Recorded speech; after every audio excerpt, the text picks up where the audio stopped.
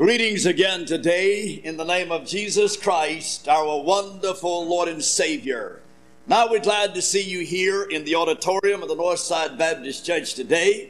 We welcome every one of you. We appreciate the visitors that's visiting with us today. Of course, always glad to see our own members and appreciate you being in the house of the Lord. And to you out in the radio listening audience, we most certainly appreciate you tuning in to the Northside Baptist Church Hour that's coming to you live right from the auditorium of the Northside Baptist Church here in Athens, Georgia. Now, this is Preacher Edward speaking, and we're hoping during the next hour we can be an inspiration to you.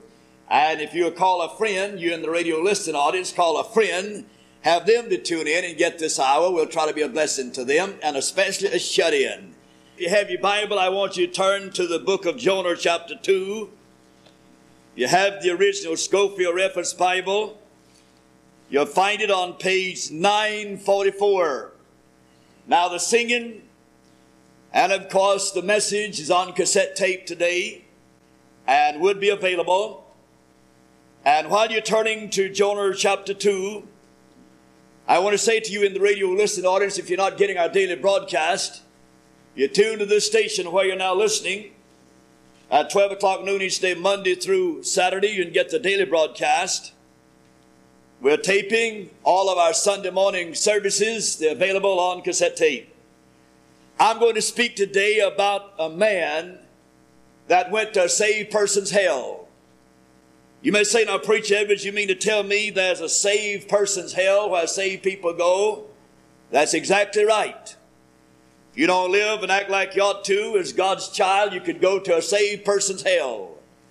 Now, I'm not talking about hell down in the bowels of the earth where sinners go that die without God. I'm not talking about that. No saved person will ever enter hell down in the bowels of this earth, nor go to the lake of fire. But there's a saved person's hell where saved people go because of their disobedience to God. And it may be some of you have already been through a saved person's hell because of your disobedience. There may be some of you in a saved person's hell today there may be some that's headed in that direction. And if this message can help, then we'll give God the glory. Jonah chapter 2. Then Jonah prayed unto the Lord his God out of the fish's belly, and said, I cried by reason of mine affliction unto the Lord, and he heard me. Out of the belly of hell cried I, and thou heardest my voice. Thou hast cast me into the deep, in the midst of the seas, and the floods compass me about. All thy billows and thy waves pass over me.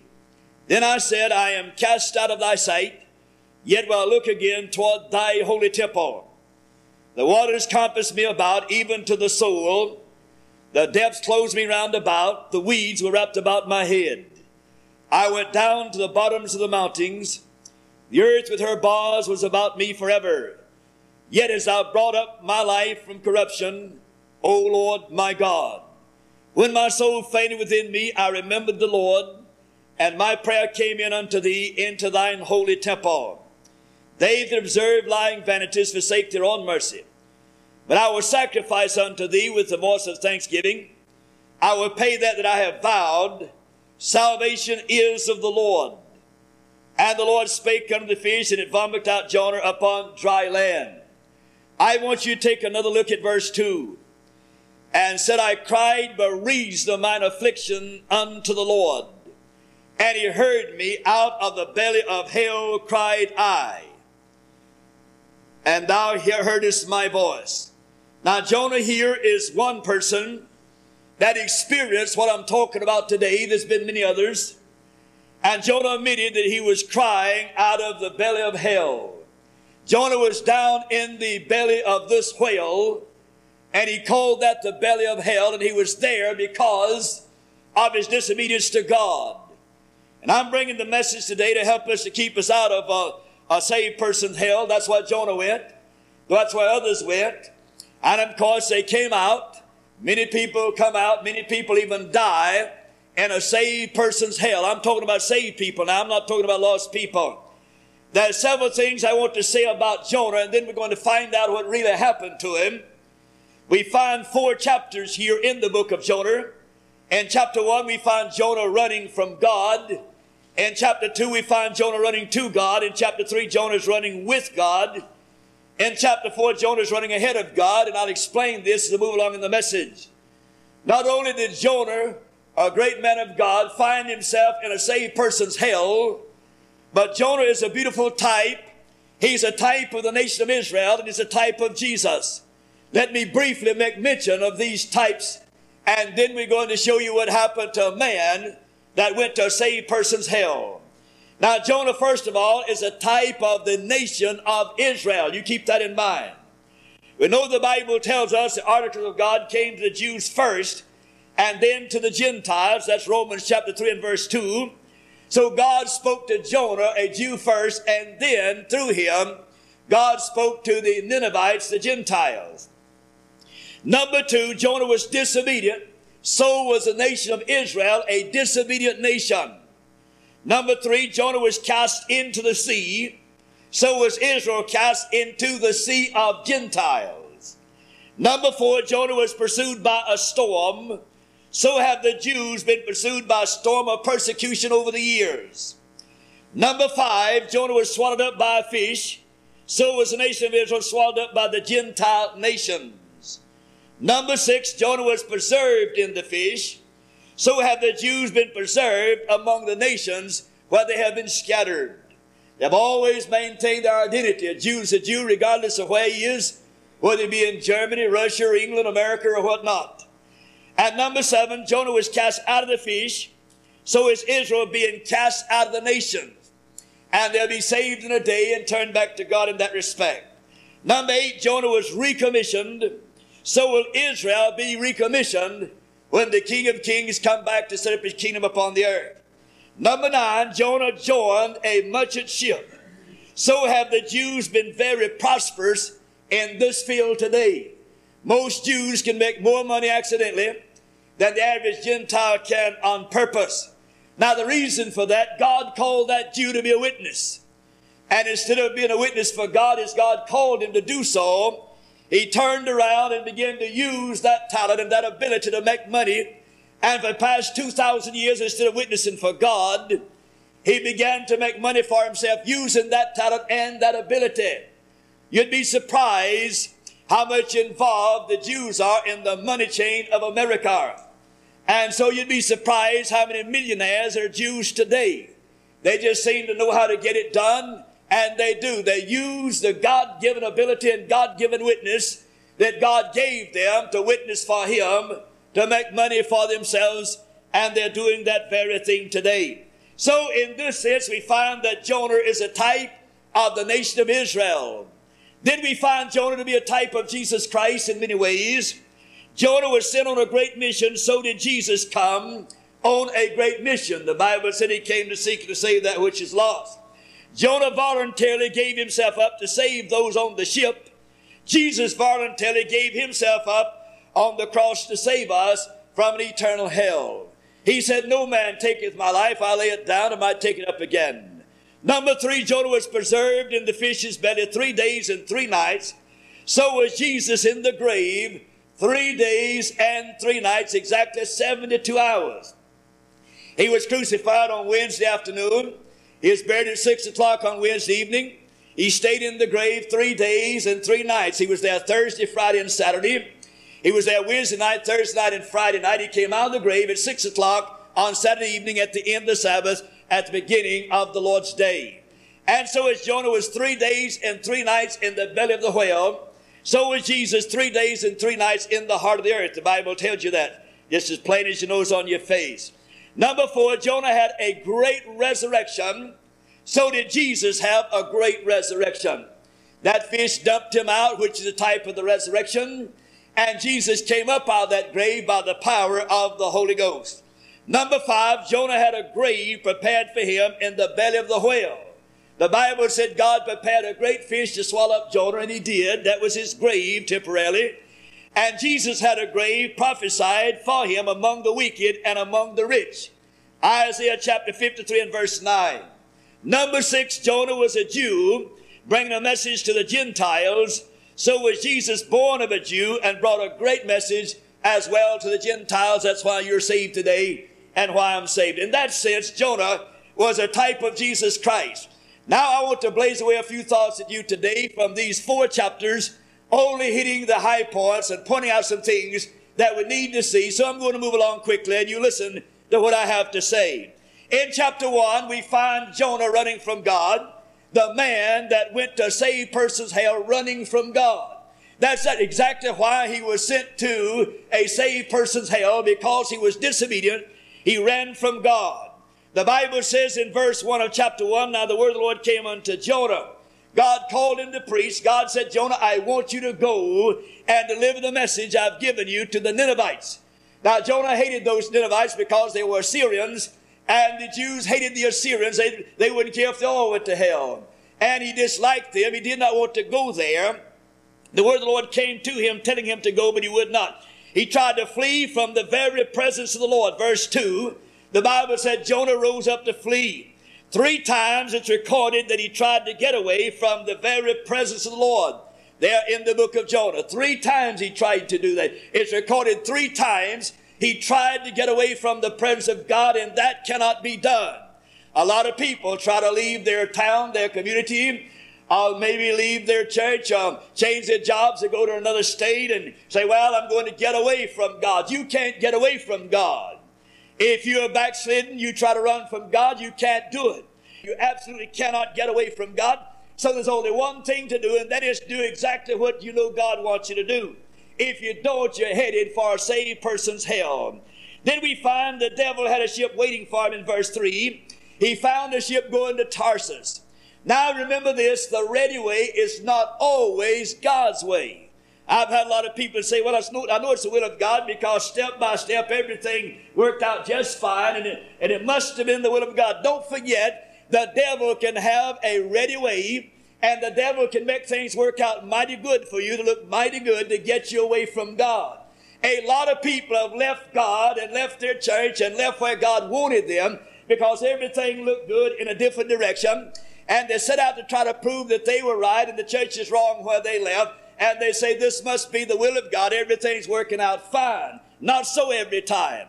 Jonah thought, well, maybe this is a, a good deal after all. There's a ship already waiting for me to go to Tarsus. He wanted to go to Tarsus. And he began to reason how providential he said this is, and everything's working out fine. But remember, the ready way is not always God's way. You must keep that in mind. Now, Jonah paid the fare. He paid the fare, and when he paid the fare, he went down. Now, if you're born again believe, I don't care who you are, if you disobey God, if you fail to do what you know God wants you to do, there's a day coming when you are going to pay that fare. And when you pay that fare, it's going to cost you. I don't care who you are, it's going to cost you greatly when time comes for you to pay the fare. Now, Jonah paid the fare, and when he did, he went down. The Bible said he went down to Joppa. He went down into the ship. He went down into the sleeping room. He went down into the fish. He went down to the bottom of the sea. And he went down on his face before God. Six major steps Jonah took when he paid the fare. Down, down, down, down he went until he hit rock bottom. And the only way he could look was up. Maybe some of you have been right there. You've gone as far down as you felt like you could go without dying. And the only way that you could do is to look up. The only thing you could do is to look up. And when you looked up, God began to lift you up. Now, there's a lot of church members today that's heady-hearted high-minded, disobedient to God, very arrogant, have all the answers. They're headed down, down, down, down. And they will eventually hit bottom and end up in a saved person's hell. That's exactly what this man did. He went straight down to a saved person's hell. He went as far down as he could go. I may be speaking to someone now out of the radio listen audience. You have been saved. You have been born again. And you know you've been saved, but you are disobedient. How long has it been since you've been in God's house? How long has it been since you had your family in church? Oh, you say, Preach Edwards, I'm saved, but it's been a good while now since I've been in church and served God. All right, go ahead, buddy. One of these days you're going to hit bottom, and one of these days you're going to end up in a saved person's hell. And when you do, you wish a thousand times you'd obeyed God. Poor old Jonah. He wished a thousand times that he'd have gone on to Nineveh. He was down there in a saved person's hell. You can't disobey God, fail to be faithful to God, fail to do what God wants you to do, and expect God's blessings upon you. So in chapter 1, Jonah's running from God. In chapter 2, when God began to deal with him, he started running back to God. The Bible says in verse 2 of chapter 2, he found himself in a good man's hell. And when he did, he began to pray. That's the only thing you can do when you find out that you're in a good man's hell or saved person's hell is to pray. That's all. You got to do that. You must repent and pray. The Bible says in verses 1 and 2, Then Jonah prayed unto the Lord, he's got out of the fish's belly. I cried, bereaved of mine affliction unto the Lord. Now, this prayer here that Jonah prayed is quoted from nine of the Psalms. He prayed a prayer quoting from nine of the Psalms. He was biblical in his prayer, and he was calling on God. And not only did he pray to the Lord, but he began to think about the old church. Look at verse 4. I will look again toward thy holy temple. Many times I have gone to the hospital, visited backslidden church members. They have said to me, Preacher Edwards, I have been thinking about the church since I've been here. And when I get out of here, I'm coming back to church. Many times have I heard that. Some have come back, some have gone on hard headed, stubborn, to God had to really cut them off or deal with them. But whenever you're saved and you go back on God, you wind up in the hospital. If you're a saved person, you begin to think about the church house. You begin to think about the things of God. There may be some of you right now in the hospital. Listen to me right now on your bed. You're flat on your back and you're there because you disobeyed God and you're going to have to get right with God repent and come back to God. And you're saying right now, I would to God I could be in God's house today. Well, maybe if you'd obeyed God, you could have been. You've been unfaithful. You haven't been faithful in serving God. You haven't been faithful in tithing your income. You haven't been faithful in witnessing and praying and reading your Bible. And if you'd have been faithful to God, you might not be in a saved person's hell today. That's why Jonah was in a saved person's hell. And he promised then, then he remembered, he remembered the temple then, verse 4. And no doubt he said, if I ever get out of this fish's belly, I'll go to the temple the first chance I get and I'll worship God. And then he promised to be thankful and pay his vows, verse 9. But I will sacrifice unto thee with a voice of thanksgiving. I'll pay that that I have vowed. I don't know what Jonah vowed, but he made a vow to God. I have an idea. I believe he did what every preacher does when God calls him to preach. I know I did. When God called me to preach, I said, Lord, I'll go where you want me to go. I'll preach what you want me to preach. I'll do what you want me to do. Just, just name it, Lord. Just lead me, and I'll go. Well, I've tried to be obedient in that respect. And I believe that Jonah promised God when God called him to preach, he said, Lord, I don't care where it is, I'll preach. You just name it, Lord, I'll be there. You just tell me where you want me to go, and I'll go. And then all of a sudden, God said, Now, Jonah, I want you to go to Nineveh. And Jonah said, Everywhere, Lord, but Nineveh. I'll go anywhere, Lord, but Nineveh. God said, Yes, I want you to go to Nineveh. And Jonah said, I'll go anywhere but to Nineveh. But did he go? He surely did. And he was glad to go when God finished with him, when he came out of a saved person's hell.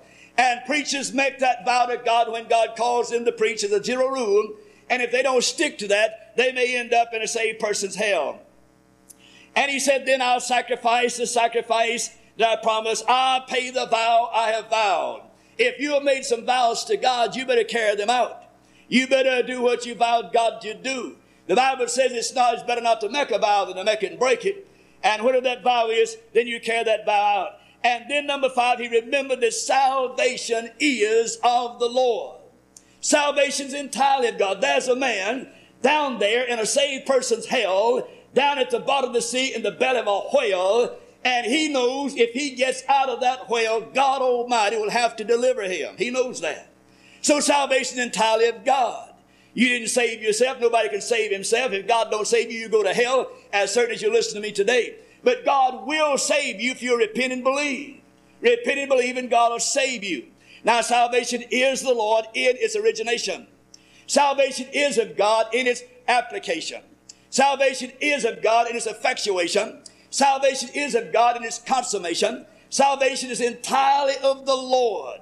If you are saved, God will save you, and that's the only way you can be saved. But you must repent and believe to get that done. And he remembered salvation is the Lord, and when he remembered that, the fish disgorged him in verse 10, and he hit the dry ground. But he had to admit that only God could get him out of a saved person's hell, and God is the only one who can get you out of a saved person's hell if you're in one today. Then we come to chapter 3 and we find Jonah running with God. Now, God gave Jonah here a second chance. I'm glad about that. Verse 1 of chapter 3 And the word of the Lord came unto Jonah the second time. You know, I'm glad today we have a God to give us a second chance. Most of us foul up and make mistakes, and if we'll be honest and sincere and come to God and ask God, He'll give us another chance. God will give us a second chance. God gave Simon Peter a second chance. God gave David a second chance. God gave Jonah a second chance. And God will give you another chance if you mean business, if you really ask God to do so. And so he came running with God here. God gave him a second chance. And there he um, accepted that second chance and he made a three days journey in one. Verses three and four. Now this man Jonah, when he came out of that fish's belly, he might have smelled like a can of sardines, but he was headed with God's message to Nineveh. If someone had come along and uh, in a Model A Ford and tooted their horn and said, Hey there, preacher, would you like a ride? He said, No, thank you, I'm in a hurry. And down the road he'd have gone. You could play marbles on his shirt tail, he's moving so fast. This man was headed toward Nineveh because he had been in a saved person's hell. He's got out now, and he most certainly didn't want to go back there again.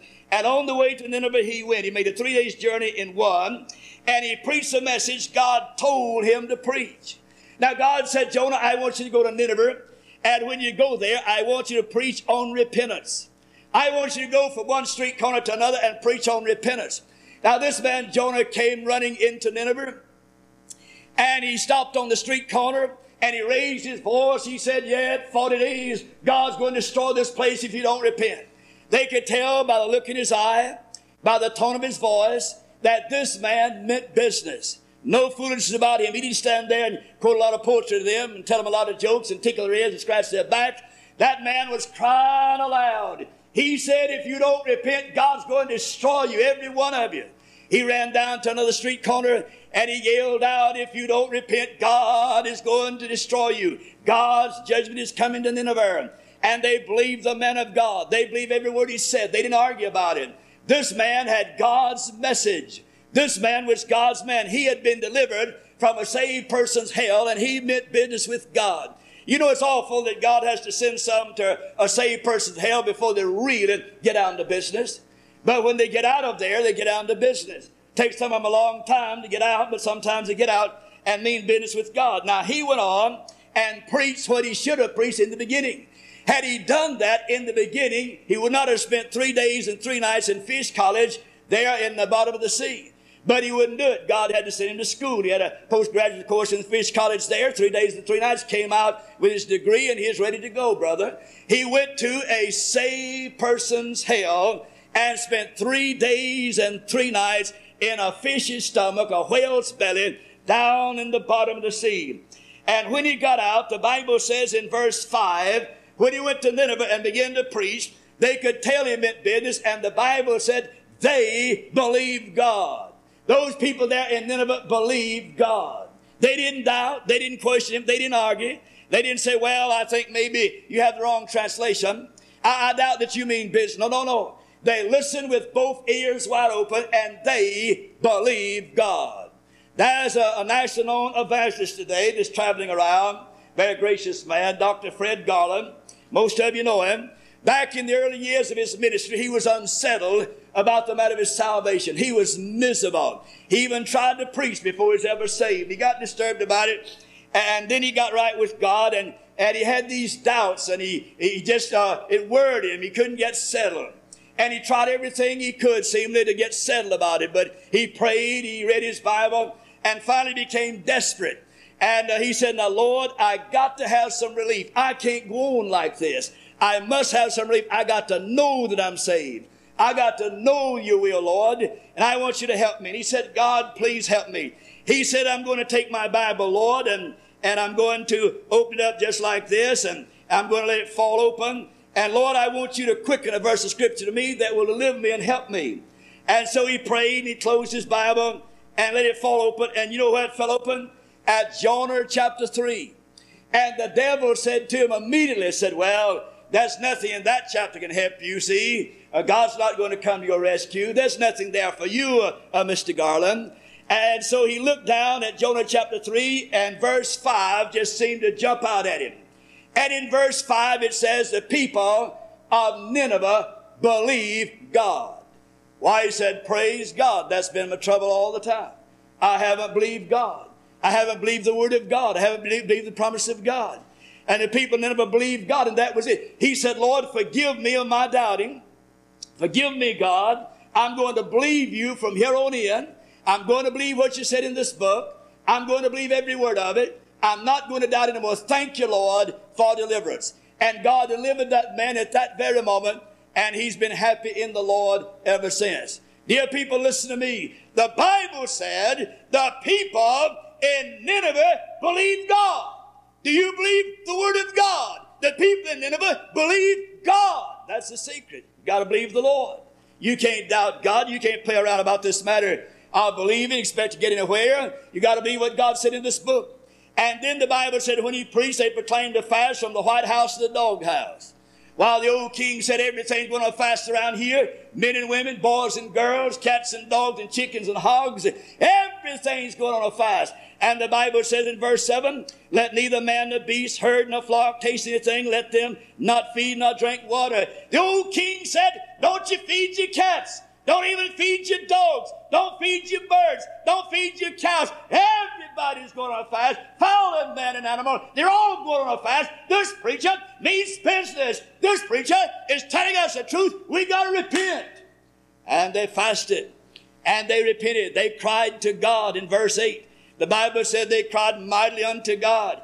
Yea, let them turn everyone from his evil way. They cried to God, they repented, they said, God, we're sorry we sinned. Forgive us, O God. We don't want to die. Forgive us, O God. We want to believe in you. And they believed in God.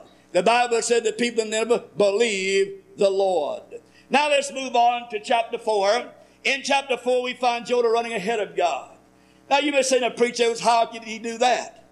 He ran, uh, he ran from God, he ran to God, he ran with God, but he runs ahead of God now in verse 3 of chapter 4, Therefore now, Lord, take, I beseech thee, my life from me, for it's better for me to die than to live. Here's a man running ahead of God wanting to die. Now, God will let you die when he gets ready for you to die. No point in you trying to commit suicide. No point in you praying to die. God will help you at that particular time. God will be there. In due time, you'll die. And you may die before God gets ready for you to die if you're not obedient to God. Now, Jonah prayed to die, and God said, Now listen here, Jonah. I got your life in my hands, and when I get ready for you to die, I'll take care of that. You don't have to be praying to die. And poor old Jonah sitting there beside that mountain, he so hated those Ninevites, he'd rather die than to see them live. He said, God, just let me die. Nothing seemed to be going right anymore anyway. And he sat down there beside that mountain, and God used four things to teach this Baptist preacher a lesson. Now we found old Jonah sitting there pouting. You ever seen anybody pout? You have. All right, have you ever seen uh, a Baptist preacher pout? Have you ever seen deacons pout? Have you ever seen your husband pout? Don't raise your hand. Have you ever seen your wife pout? Don't raise your hand. Just keep your hands down. I'm just asking you some questions. You have the answer. Have you ever seen anybody pout? That's a terrible looking sight. I used to pout with my wife, you know, and she said, I'd rather you just give me a whipping than, than to pout with me. Of course, I wouldn't do that. I'd rather pout. And some one day I was sitting in our living room down here in the parsonage. I was sitting there pouting about something, had my lips all run out and all frowned up. And my wife said to my daughter Joan, said, uh, I want you to take a camera in there and take your daddy's picture. I'll let him see. Slip in there and get him. And she came tipping in there, and I ought to give a whooping for it, but it didn't. But she came in there and she struck my picture. And when I saw that thing, that broke me from my pouting. I haven't pouted anymore. Lord have mercy. If you'd go get you a mirror when you're pouting and look at it real good, or get somebody to take you a picture, then that'd stop your pouting. A lot of you men walk around, won't speak to your wife, walk around, walk around, and, and won't speak. You pout, you know. Somebody will take your picture right then and there. A lot of you wives pout with your husband. You pout and they come in from work. You won't speak to them and won't say anything. Walk around and pout. Shame on you. That's childish stuff. Get somebody to take your picture. That'll settle that. That broke me and broke me good. Now Jonah was sitting there pouting and God taught him a lesson. God used four things to teach him a lesson. Number one, God used a fish.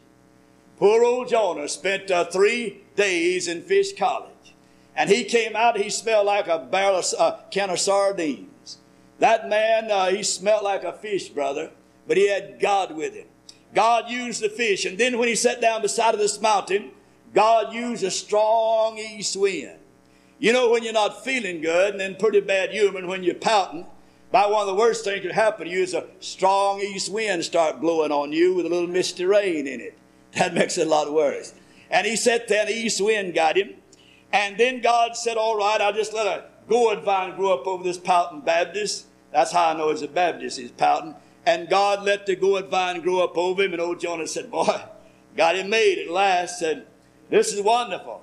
I can sit here under the shade and enjoy life and watch over Nineveh and see what happens down there. There's a little worm over there looking at that Baptist preacher.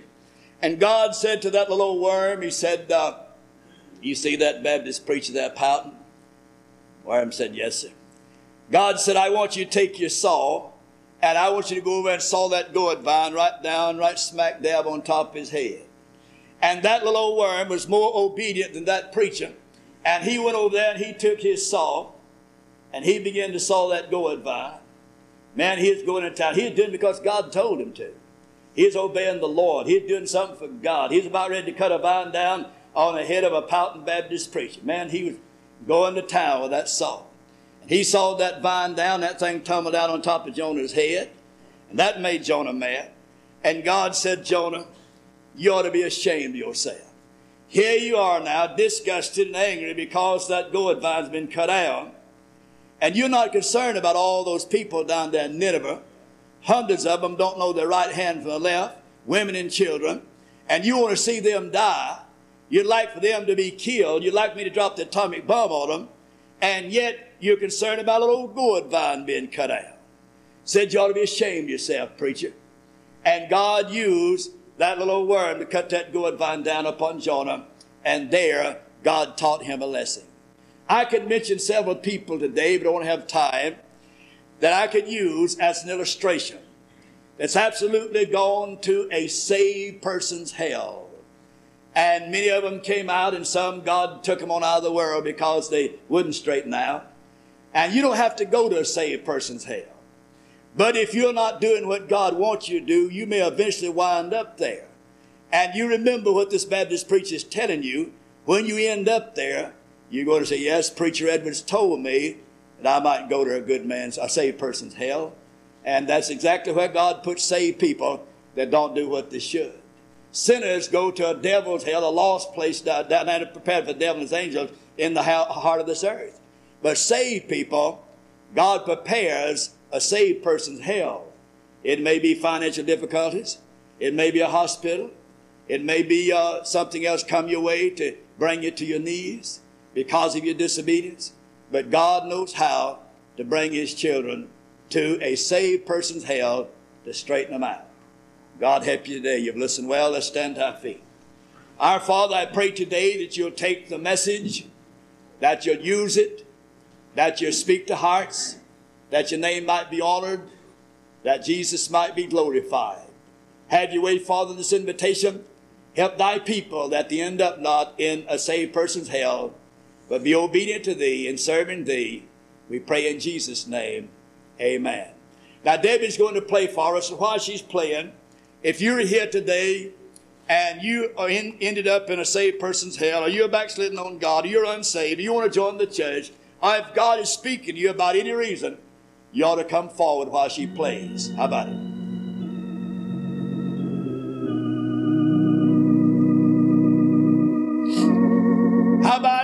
Is speaking to you, will you come?